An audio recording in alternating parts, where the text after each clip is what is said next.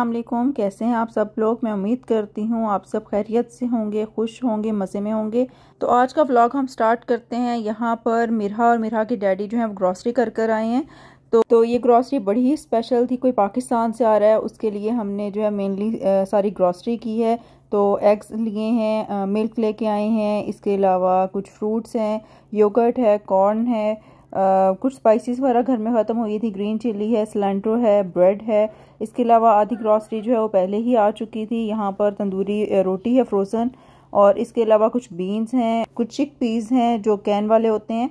साथ में ही कस्टर्ड लेके आए हैं। यहाँ पर है पाइन के चंक्स ग्रीन चिलीज़ हैं। तो बस जो मेनली घर की ग्रोसरी होती है, वो यहाँ पर मेरे हस्बैंड गए थे मिरहा के साथ। वो ग्रॉसरी करके आए हैं, क्योंकि मेरे पास इतना टाइम नहीं था। मैंने घर को क्लीन करना था और दिन थे सिर्फ़ एक मतलब कल का। तो जो हमारे जो स्पेशल गेस्ट थे, उन्होंने आना था कल। तो इसलिए जो है मैं सारी प्रेपरेशन ऑलरेडी कर रही थी। ग्रॉसरी तो बंदा एक दिन पहले ही करता है। तो ये जो आप क्लिप देख रहे हैं, ये एक दिन पहले का है। यहाँ पर मैं अपने लिए ब्रेकफास्ट बना रही हूँ। एग्स को बॉईल कर रही हूँ, जो मैं अमूमन आजकल ब्रेकफास्ट कर रही हूँ। मटन मैंने यहाँ पर डीप रोस्ट होने के लिए रख दिया और यहाँ पर मैंने चिकन ड्रम स्टिक्स को भी डीप रोस्ट होने के लिए रख दिया था रात पहले। और मैं आज के दिन इसे मैरिनेट करूँगी, क्योंकि जो हमारे गेस्ट हैं, वो आएँगे कल। तो इसलिए जो है, आज सारा दिन ये मैरिनेट होगा और कल फिर मैं इसको बेक करूँगी या एयर फ्रायर करूँगी। तो आज के दिन मुझे बहुत से काम थे, इसलिए तो मैं ग्रॉसरी करने नहीं गई थी। तो सबसे पहले मैं यहाँ पर किचन को क्लीन कर रही हूँ, क्योंकि आज का ज़्यादा काम जो है मेरा किचन में ही है, इसलिए सबसे पहले मैं सिंक में जो बर्तन पड़े हैं उन सबको वॉश कर लूँगी अच्छी तरह से, और इसके बाद जो है मैंने घर में सफाइयाँ भी करनी है तो आज के दिन तमाम क्लीनिंग होगी, और किचन में जो डिज़र्ट है वो बनाऊँगी, इसके अलावा चिकन को मैं मैरिनेट करूँगी, और शायद मैं कुछ कबाब वगैरह भी बना के रख लूँ, जो मेन काम है वो आज के दिन करूँगी, ताकि कल जब हमने उन्हें एयरपोर्ट से पिक करने जाना है तकरीबन तीन बजे, लेकिन बच्चों के साथ काफ़ी मुश्किल हो जाएगा, इसलिए जो है वो सारा मेन काम मैं एक दिन पहले ही कर लूँगी। तो बस मैं यहाँ पर तमाम जो है बर्तन वगैरह को वॉश कर रही हूँ। इस, इनको मैं डिश वॉश भी कर सकती हूँ, लेकिन मैंने कहा थोड़े से बर्तन है, इसलिए बस जल्दी से इन्हें वॉश कर लूँ। जब भी मैं बर्तन वॉश करती हूँ, मेरी मेनली कोशिश होती है कि मैं ग्लव्स लास्ट में यूज़ करूँ। ग्लव्स पहने तो आपके हाथ जो हैं वो, आपकी स्किन जो है हाथों की वो ठीक रहती है हार्ड नहीं होती है ड्राई नहीं होते। तो इसीलिए जो है मैं प्रेफर करती हूँ कि मैं ग्लव्स यूज़ करूँ, लेकिन अक्सर ये होता है कि जल्दी में आप ग्लव्स भूल जाते हैं। तो बस मैंने यहाँ पर जल्दी से तमाम बर्तन वगैरह वॉश कर लिए हैं और जो डिश वॉशर में बर्तन पड़े थे, उन सबको मैं उनकी जगह पर रख रही हूँ। क्योंकि इससे एक दिन पहले गेस्ट वगैरह आए थे तो काफ़ी सारे बर्तन हुए थे तो मैंने डिश वॉशर ऑन किया था तो बस मैं डिश वॉशर को यहाँ पर एम्प्टी कर रही हूँ। एम्प्टी करने के बाद जो अब मैंने बर्तन वगैरह वॉश किए उनको डिश वॉशर में लगा रही हूँ। सिर्फ़ मैं इसको ड्राई करने के लिए यूज़ करूँगी। तो जैसे ही कप्स वगैरह या बर्तन वगैरह ड्राई होंगे, इनको मैं इनकी जगह पर रख दूँगी। तो बस मैंने यहाँ पर तमाम बर्तन वॉश कर लिए हैं। अब बच्चों की बॉटल्स वगैरह वॉश करूँगी। बच्चों की बॉटल वॉश करने के बाद मैंने इन तमाम बॉटल्स को स्टेरलाइज़ करना है, क्योंकि मैं दिन में बच्चों की तमाम बॉटल्स एक दफ़ा लाजमी जो है वो स्टेरलाइज़ करती हूँ। और बस यहाँ पर मुझे अब मेरा जो न्यू बॉर्न बेबी है बहुत ज़्यादा तंग कर रहा था तो मैं उसको किचन में ही ले आई हूँ। मैंने काउंटर टॉप पे उसे कार सीट के अंदर रख ली है कि जैसे ही वो तंग करे तो मैं फिर उसको पैसिफायर दे देती हूँ। बस इस तरह से ही काम कर रही थी। दोनों बच्चों ने से ही मुझे तंग किया हुआ था। तो बच्चों के साथ जो है काम करना काफ़ी मुश्किल हो जाता है। सही बच्चे टफ़ टाइम देते हैं आपको अक्सर। और साथ ही मैंने यहाँ पर बच्चों की बॉटल जो है वो स्टेरलाइज होने के लिए रख दी हैं और अंडे जो है ऑलरेडी बॉयल हो चुके थे। मेरा ब्रेकफास्ट जो है काफ़ी देर से रेडी था। तो बस अब मैं जो है पहले ब्रेकफास्ट करूँगी, उसके बाद जो है बाकी कुकिंग वगैरह स्टार्ट करूँगी। तो मैंने यहाँ पर बॉयल्ड एग्स ले ली हैं, साथ में अपनी चाय बना ली है और थोड़ी सी मैं पंजीरी यहाँ पर लूँगी।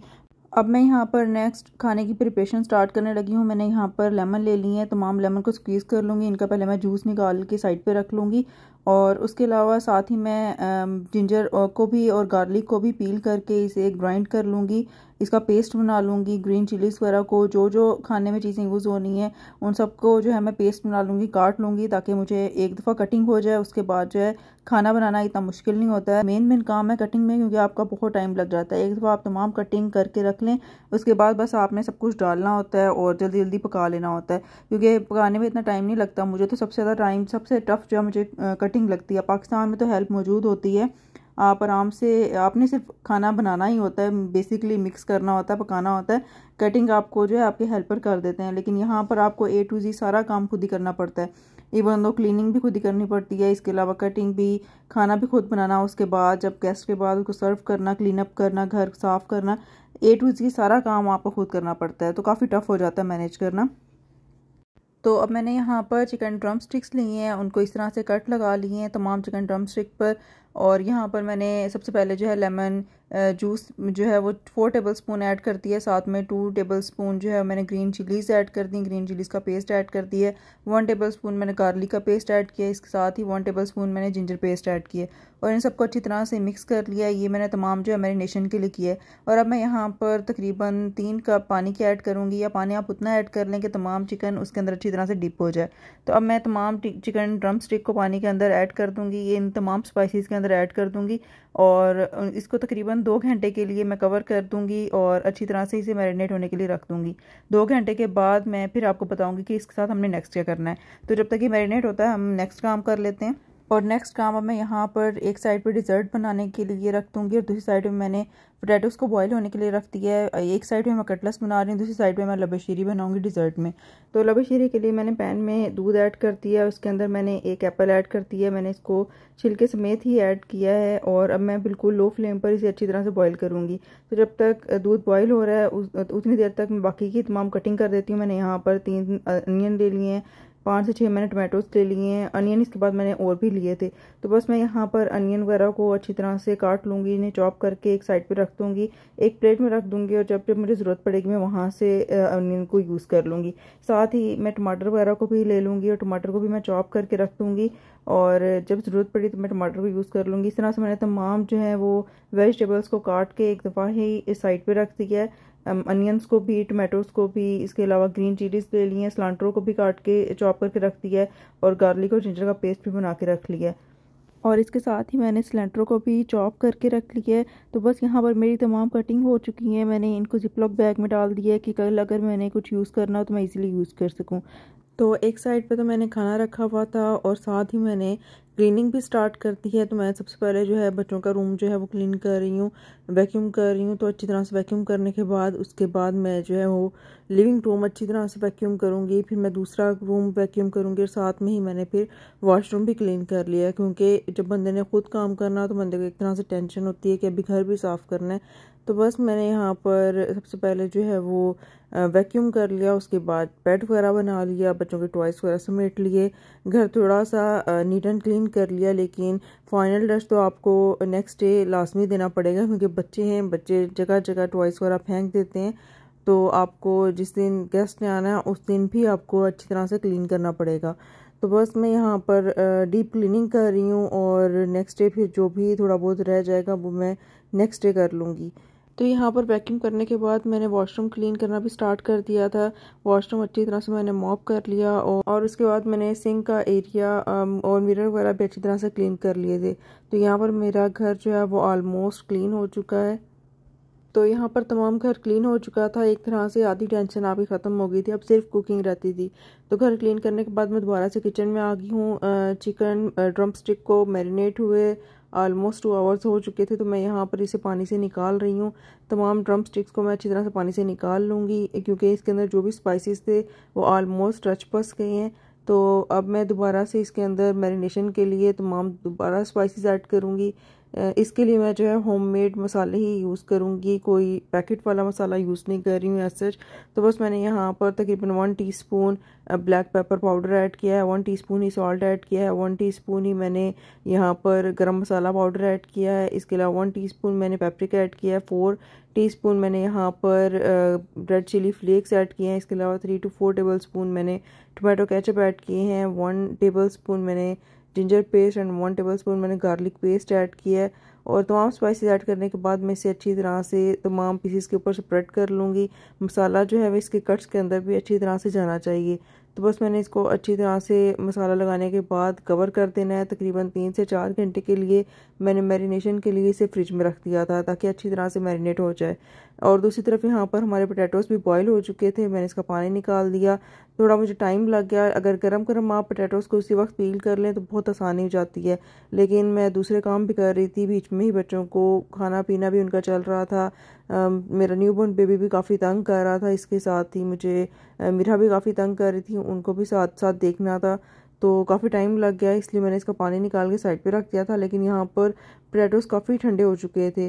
तो इसलिए मुझे थोड़ा पील करने में मुश्किल हो रही है। तो यहाँ पर तमाम पोटैटोज़ को पील करने के बाद मैंने इसे अच्छी तरह से मैश कर लिया, क्योंकि मैं यहाँ पर बना रही थी आलू के कटलेट्स तो आलू मैश करने के बाद मैंने यहाँ पर स्पाइसेस ऐड कर दिए हैं सॉल्ट ऐड किया है ब्लैक पेपर पाउडर ऐड कर दिया, साथ थोड़ा सा मैंने रेड चिली पाउडर ऐड किया है और ग्रीन कोरिएंडर पाउडर इसके साथ ही मैंने यहाँ पर सीड निकाल के चॉप टमाटो ऐड किया थोड़ा सा और और साथ में मैंने चॉप सिलेंडर ऐड कर दिया, थोड़ा सा ग्रीन चिलीज़ का पेस्ट ऐड किया है और बिल्कुल थोड़ा सा मैंने यहाँ पर अनियन ऐड किया है। अनियन को काटने के बाद मैंने अच्छी तरह से उसका पानी को स्क्वीज़ कर लिया। पानी को किसी कपड़े में डाल के अच्छी तरह से निचोड़ लें और उसके बाद आपने इनमें ऐड करना है मिक्सचर में। अदरवाइज़ जो है तमाम पोटैटो जो है वो पानी पानी सा हो जाएगा इसमें तो सही शेप नहीं बनेगी तो बाइंडिंग सही नहीं होगी। अच्छा इसके अलावा साथ ही मैंने इसके अंदर एक अंडा ऐड कर दिया है और थोड़े से बाइंडिंग के लिए ब्रेड क्रम्स ऐड किए हैं।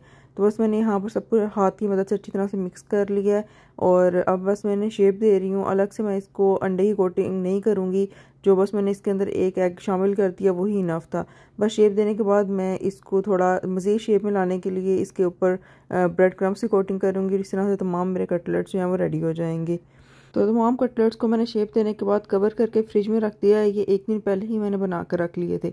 और नेक्स्ट मैं यहाँ पर मटन जो है, हमारा डिफ्रोस्ट हो चुका है। इसको अच्छी तरह से क्लीन कर रही हूँ। तो यहाँ पर मैंने अच्छी तरह से तमाम मटन को वॉश कर लेना है। यहाँ पर मैं चावलों के लिए मसाला तैयार करूँगी। यानी सबसे पहले मैं यखनी तैयार करूँगी।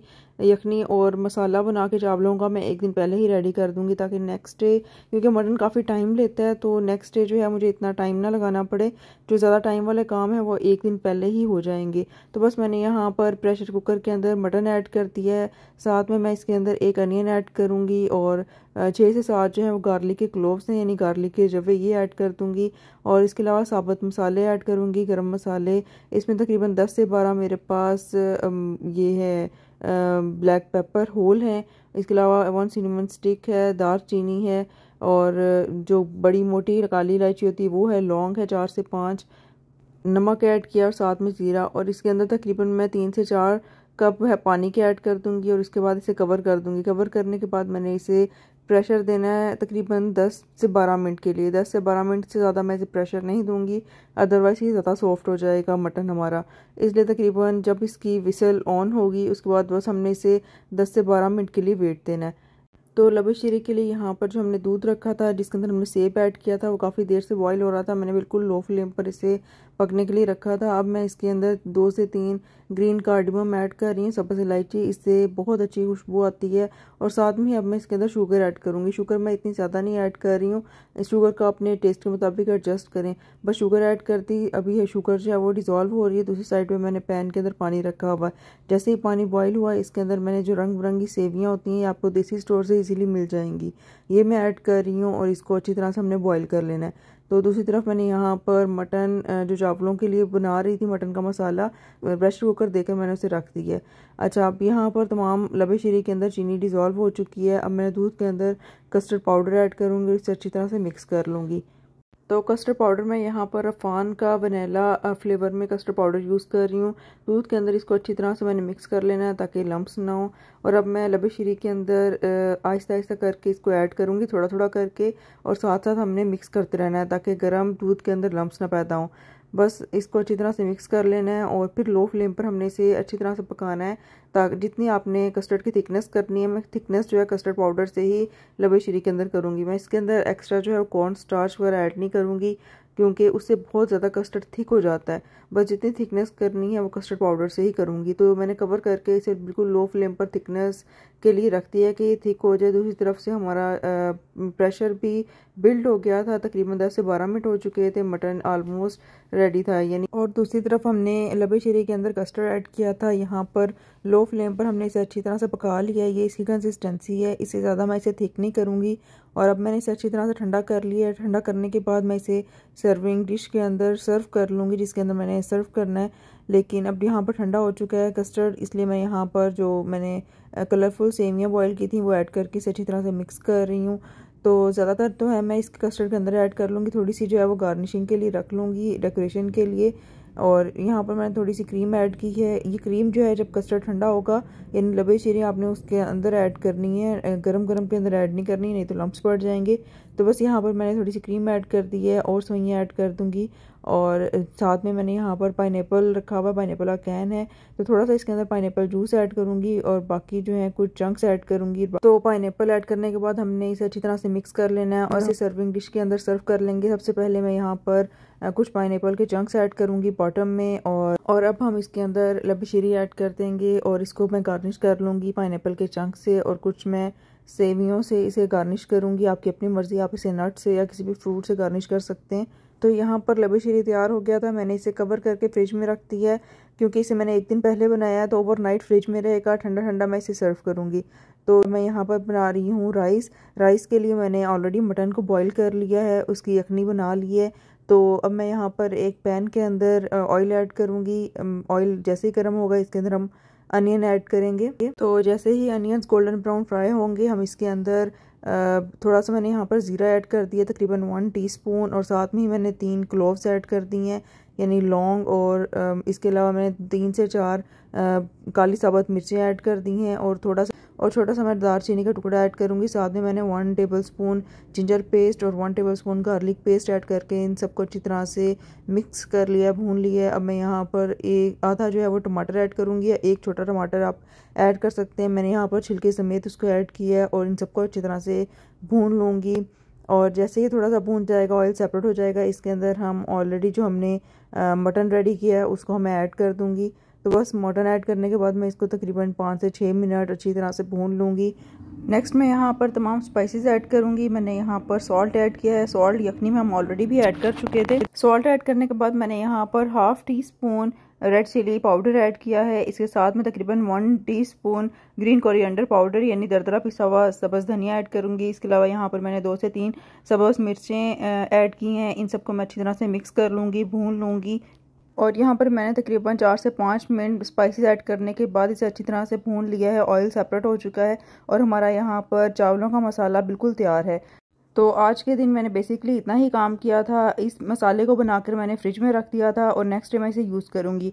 और अब ये जो क्लिप है, ये नेक्स्ट डे का है। मैं अपने लिए एक तरफ़ तो ब्रेकफास्ट बना रही हूँ एग्स वगैरह बॉयल कर रही हूँ और दूसरा मैंने यहाँ पर एक बोल में गर्म पानी ले लिया है। इसके अंदर दही भल्लों के लिए मैं यहाँ पर भले ऐड करूँगी। भल्लों को मैंने पानी में सोख करना है तकरीबन दो घंटों के लिए। ताकि अच्छी तरह सॉफ्ट हो जाए। और साथ में मैंने यहाँ पर चिकन को रात को ही मैंने डीप फ्रोस्ट होने के लिए रख दिया था। अब मैंने इसको अच्छी तरह से वॉश कर लिया तो अब मैं बनाने लगी हूँ चिकन का सालन। मैंने यहाँ पर एक कढ़ाई ले ली है। इसमें मैंने ऑयल ऐड किया है। उसके अंदर मैंने चिकन ऐड कर दिया है। चिकन को मैंने कलर चेंज होने तक तकरीबन दो से तीन मिनट अच्छी तरह से फ्राई कर लेना है। तो यहाँ पर चिकन का कलर चेंज हो चुका है। मैंने वन टीस्पून जिंजर पेस्ट और one teaspoon garlic paste add किया है। और इसको अब अच्छी तरह से हम मिक्स कर लेंगे।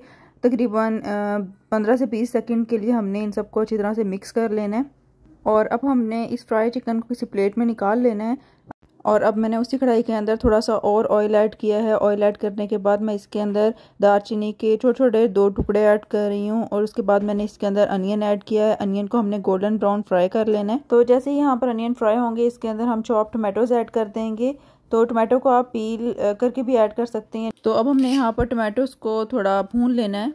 तो टमाटर को मज़ीद सॉफ्ट करने के लिए मैं यहाँ पर इसे कवर कर दूँगी लो फ्लेम पर लो टू मीडियम फ्लेम पर इसे कवर करूँगी। और दूसरी साइड में मैंने दही भल्लों के लिए पोटैटोज जो हैं वो बॉईल होने के लिए रखे थे। यहाँ पर हमारी ग्रेवी ऑलमोस्ट डन थी। मैं इसे स्पून की मदद से मैश कर रही हूँ। अच्छा मैंने यहाँ पर स्मूथ पेस्ट बना लिया, इन्हें ब्लेंड कर लिया है जो ग्रेवी थी। अब मैं इसके अंदर तमाम स्पाइसेस ऐड कर रही हूँ। सॉल्ट ऐड किया है, हल्दी ऐड की है, दरदरी पिसी हुई सुरख मिर्च ऐड की है, इसके अलावा धनिया पाउडर ऐड किया है। और साथ में ही मैंने रेड चिली पाउडर ऐड किया है ब्लैक पेपर पाउडर ऐड कर दिया है। स्पाइसेस को अपने टेस्ट के मुताबिक एडजस्ट कर लें। तमाम स्पाइसेस ऐड करने के बाद अब हम इसे अच्छी तरह से मिक्स कर लेंगे।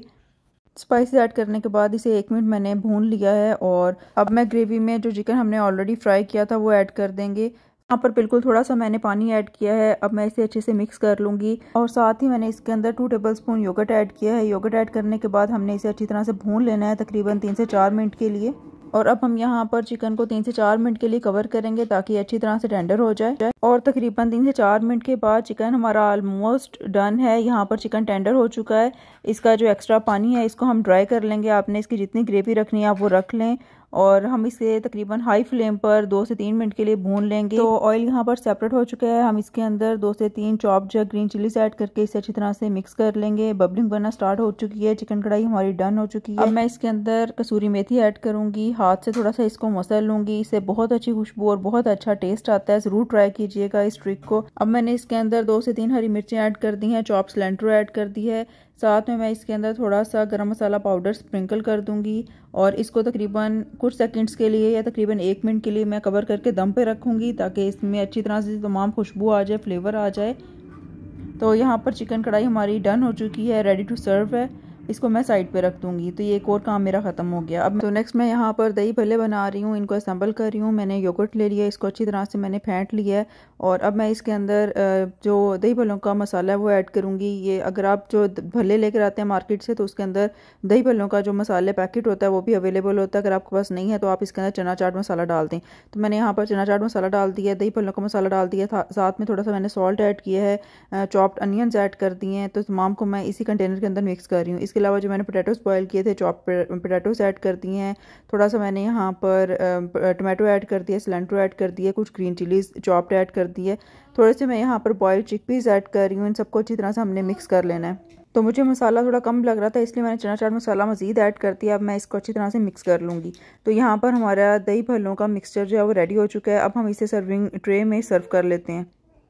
और भल्लों को तकरीबन पानी में सोख हुए दो घंटे हो चुके हैं। इनको अच्छी तरह से हमने स्क्वीज़ करके सर्विंग ट्रे में शामिल कर लेना है। और अब हमने भल्लों को दही के प्रिपेयर्ड मिक्सचर से कवर कर देना है। दही भल्लों की गार्निशिंग के लिए मैं यहाँ पर चॉप सिलेंटर ऐड कर रही हूँ चॉप टमाटोज़ ऐड करूँगी। इनके मैंने सीड्स निकाल लिए थे इसके अलावा चॉप ग्रीन चिलीज ऐड करूँगी। और मज़ीद गार्निशिंग के लिए मैं इसके ऊपर थोड़ी सी इमली की चटनी ऐड कर रही हूँ और चना चाट मसाला इसके ऊपर स्प्रिंकल कर दूँगी। तो ये हमारे दही भले बिल्कुल तैयार हो गए हैं, अब मैं इसे कवर करके फ्रिज में रख दूँगी और ठंडा ठंडा सर्व करूँगी। अब मैं और यहाँ पर मैं शामी कबाब फ्राई कर रही हूँ। शामी कबाब को मैंने ऑलरेडी फ्रीज़ किया होता है, काफ़ी सारे बना के एक दफ़ा ही मैं फ्रीज़ कर लेती हूँ। और अब मैंने यहाँ पर चिकन ड्रम स्टिक्स को निकाल लिया है, जिनको मैंने मैरिनेट करके फ्रिज में रखा था। अब मैं इसके अंदर वन टेबल स्पून मैदा यानी आल पर्पज़ फ्लावर ऐड कर रही हूँ। टू टेबल स्पून मैंने यहाँ पर कॉर्न स्टार्च के ऐड किए हैं और इसको अच्छी तरह से मैं सब पर लगा लूँगी। तो चिकन ड्रम स्टिक्स मैंने अच्छी तरह से मैदे की और कॉर्न स्टार्च की कोटिंग कर ली है। इसको हम ट्रे के अंदर निकाल लेंगे। और अब मैं इसके ऊपर ऑयल की कोटिंग कर रही हूँ। ऑयल के बाद मैं इसके ऊपर थोड़ा सा बटर ऐड करूँगी। इससे चिकन ड्रम स्टिक बहुत ज़्यादा सॉफ्ट और जूसी बनती हैं। बहुत अच्छा इनका टेस्ट आता है। ज़रूर ये रेसिपी ट्राई कीजिएगा। इससे बहुत ज़्यादा मज़े की बनती हैं। तो जो चिकन ड्रम स्टिक्स हैं फोर इनको मैं एयर फ्रायर के अंदर बनाऊँगी तकरीबन थ्री फिफ्टी फाइव सेल्सियस पे मैं इसे बेक करूँगी। तो यहाँ पर मैंने इसे बेक होने के लिए रख दी हैं और दूसरे जो तीन ड्रम स्टिक्स हैं उनको मैं डीप फ्राई कर लूँगी। और नेक्स्ट तो मैंने यहाँ पर राइस के लिए मटन की ग्रेवी पहले ही बना ली थी मसाला इसका पहले ही बना के फ्रिज में रख दिया था एक दिन पहले ही ताकि मेरा काम आसान हो जाए क्योंकि मटन डन होने में काफ़ी टाइम लगाता है। तो अब मैं जो है इस सबको कम्बाइन कर रही हूँ राइस बनाऊँगी। तो इसलिए सबसे पहले मैंने एक पैन के अंदर इन्हें गर्म करने के लिए रख दिया है। जैसे ये गर्म होंगे इनको एक से दो मिनट के लिए अच्छी तरह से गर्म कर लूँगी उसके बाद मैं इसके अंदर यखनी ऐड करूँगी। और यखनी जो है, मैं तो यहाँ पर तकरीबन दो कप राइस के बना रही हूँ, इसलिए मैंने फ़ोर कप यहाँ पर यखनी के ऐड किए हैं। और अब हमने यखनी को अच्छी तरह से बॉईल होने के लिए रख देना है। और नेक्स्ट मैं यहाँ पर आलू के कटलेट्स इनको मैंने एक दिन पहले ही बना लिया था फ्रिज में रखा था, इनको फ्राई कर लूँगी। तो बस डायरेक्ट मैंने पैन के अंदर ऑयल ऐड किया ऑयल को हमने अच्छी तरह से गर्म कर लेना है और इन्हें फ्राई करते जाना है। और इसी तरह से हमने मीडियम फ्लेम पर तमाम कटलेट्स को फ्राई कर लेना है। तो यहाँ पर कटलेट्स भी तमाम फ्राई हो चुके हैं। और राइस का पानी यहाँ पर बॉईल हो चुका है। इसको फ़िलहाल मैं ऐसे ही छोड़ जाऊँगी। एयरपोर्ट से वापस आकर मैं किचन राइस ऐड के और एयरपोर्ट जाने से पहले मैं राइस को होने के लिए रख के जाऊँगी। और नेक्स्ट मैं यहाँ पर किचन की सफ़ाई कर रही हूँ किचन को क्लीन कर रही हूँ क्योंकि मेरा किचन का काम ऑलमोस्ट डन हो चुका है। तो जाने से पहले कपड़े वगैरह चेंज करने से पहले मैं एक बार किचन को अच्छी तरह से क्लीन कर दूँगी। तो जो मैंने chicken drumsticks air fryer में रखी थी दस मिनट के बाद मैं इनकी साइड चेंज करूँगी और नेक्स्ट एट मिनट्स के लिए इसे दोबारा से कुक करूँगी। तो तकरीबन टोटल एटीन मिनट्स लगेंगे और हमारी बहुत ही मज़े की juicy chicken drumsticks ready हो जाएँगी। इसको मैं पहले ही बनाकर जा रही हूँ क्योंकि वापस आके इतना टाइम नहीं होगा। तो बस मैं इसे पहले ही रेडी करके चली जाऊँगी और आके हल्का सा इसे दोबारा से गर्म कर लूँगी। और जो बाकी ड्रम स्टिक्स रह गई थी, उनको मैंने पैन में ऑयल ऐड किया है और इनको मैं डीप फ्राई कर लूँगी। जब आपने ड्रम स्टिक्स को ऑयल में ऐड करना है तो ऑयल आपका अच्छी तरह से गर्म होना चाहिए और हम तकरीबन इसे लो टू मीडियम फ्लेम पर गोल्डन ब्राउन होने तक अच्छी तरह से डीप फ्राई कर लेंगे जब तक इसके ऊपर अच्छा सा गोल्डन कलर नहीं आ जाता और जब ये डन हो जाएँगे उसके बाद हम इसे निकाल लेंगे। तो एयर फ्रायर वाली चिकन ड्रम स्टिक्स यहाँ पर रेडी हो चुकी हैं। देखें कितनी ज़बरदस्त बनी है, कितना मज़े का इनका कलर आया और देखने में भी ये कितनी जूसी और सॉफ्ट लग रही हैं और खाने में भी बहुत ज़्यादा ये मज़े की थी। तो तो ऑलमोस्ट मेरा तमाम काम डन था। सिर्फ़ राइस कुक होने वाले रहते थे। जाने से पहले मैंने राइस को दो कप राइस लिए थे। इनमें मैंने पानी डालकर रख गई थी कि वापस आऊँगी तो जल्दी से बस राइस ऐड करूँगी और तकरीबन पाँच दस मिनट के अंदर राइस डन हो जाएँगे। तो यहाँ पर हम लोग रेडी शेडी होके एयरपोर्ट के लिए निकल गए हैं। काफ़ी हमें देर हो गई थी। हस्बैंड काफ़ी लेट आए थे।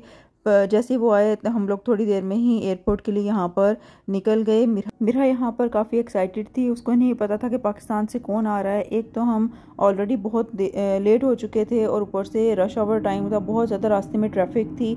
तो फ़्लाइट आलमोस्ट बहुत पहले आ चुकी थी, अपने टाइम से भी 10-15 मिनट पहले फ़्लाइट आ चुकी थी लैंड कर चुकी थी और हमें अभी भी तकरीबन आधा घंटा रहता था। अब हम यहाँ पर एयरपोर्ट पहुँच चुके हैं एयरपोर्ट की एंट्रेस है। हम लोगों ने यहाँ से एंट्रेंस पास लिया है पार्किंग पास लिया है और ऊपर से हमें यहाँ पर पार्किंग नहीं मिल रही थी। तो काफ़ी देर हम पार्किंग एरिया में ही गाड़ी पार्क करने के लिए घूमते रहे और एट द एंड बहुत मुश्किल से हमें जो है पार्किंग स्पेस मिली। जब आप लेट हो जाए ना तो उसके बाद आपके तमाम काम मसीद लेट हो जाते हैं। तो हस्बैंड यहाँ पर जल्दी से जाकर बुके ले रहे थे। फिर उतनी देर में मैं भी आ गई तो मैंने यहाँ पर फ्लावर्स लिए। एयरपोर्ट पे फ्लावर्स भी बहुत ज़्यादा एक्सपेंसिव होते हैं। एक हमें पहले ही देर हो रही थी नहीं तो मैं बाहर से किसी स्टोर से बुके ले आती। लेकिन देर होने की वजह से फिर मुझे एयरपोर्ट से ही बुके पिक करने पड़े। तो, तो अब हम यहाँ पर वेटिंग एरिया की तरफ़ जा रहे हैं। तकरीबन पाँच मिनट हम यहाँ पर वेटिंग एरिया में वेट करते रहे। फिर काफ़ी देर बाद हमें पता लगा कि दूसरे गेट से पैसेंजर्स आए हैं तो हम लोग अब उस साइड पे जा रहे हैं। तो यहाँ पर खैर बहुत ही एक्साइटिंग मोमेंट था। तो यहाँ पर हमारा स्पेशल गेस्ट आ गया पाकिस्तान से तो यहाँ पर आई हैं बच्चों की नानो। तो मिरा बहुत एक्साइटेड थी अपनी नानों से मिल के और यहाँ पर नानो जो है न्यू बेबी को देख रही हैं। तो मेरा अम्मी को देख के बहुत ज़्यादा खुश थी, बहुत एक्साइटेड थी, क्योंकि हम पाकिस्तान से तकरीबन पाँच से छः महीने पहले ही आए थे तो उसको अच्छी तरह से याद थी। और तो यहाँ पर हम रिमाइंड करवा रहे हैं कि सीट बेल्ट भी लगानी है क्योंकि पाकिस्तान में लोग ऐसे कम ही सीट बेल्ट बांधते हैं। वापसी में भी काफ़ी ट्रैफ़िक थी हमें घर आते हुए तकरीबन तीन घंटे लग गए। अब मैंने घर आते ही यहाँ पर पानी को बॉईल करके इसके अंदर राइस ऐड कर दिए तकरीबन पाँच से दस मिनट के अंदर राइस भी हमारे डन थे और मैं यहाँ पर सब कुछ सर्व कर रही हूँ। ये वाले जो चिकन ड्रम स्टिक्स थे इनको मैंने डीप फ्राई किया था और बाकी जो थे वो एयर फ्राइड थे। तो मैं और यहाँ पर मैंने तमाम खाना जो है वो सर्व कर दिया है। यहाँ पर शामी कबाब हैं चिकन के कटलेट्स हैं मटन राइस थे चिकन ड्रम स्टिक्स रेडी थी। चिकन ड्रम स्टिक्स दोनों ही तरह से बहुत ही मज़े की बनी थी। यहाँ पर चिकन कढ़ाई रेडी थी, इसके अलावा ये दही भल्ले थे और लबे शीरी। तो बहुत मज़ा आया, सब कुछ बहुत मज़े का था, सबको बहुत पसंद आया। इसके अलावा मैंने पानी रखा हुआ था कोल्ड ड्रिंक्स वगैरह थी। तो सबने बहुत मज़े से खाने को इंजॉय किया। तो ये था मेरा आज का दावत का मेन्यू और कंप्लीट व्लॉग। उम्मीद करती हूँ आपको पसंद आया होगा। अगर मेरा व्लॉग पसंद आया है तो मेरी वीडियो को लाइक करें, चैनल को लास्ट में सब्सक्राइब कर दें फ्रेंड्स एंड फैमिली के साथ लास्ट में शेयर करें। इसके अलावा मेरी वीडियो कैसी लगी है मुझे कमेंट सेक्शन में ज़रूर बताइएगा। व्लॉग कैसा लगा है और आप किस तरह के व्लॉग्स देखना चाहते हैं। तो अपना बहुत ज़्यादा ख्याल रखिएगा। मिलती हूँ नेक्स्ट व्लॉग में। तब तक के लिए अल्लाह हाफिज़।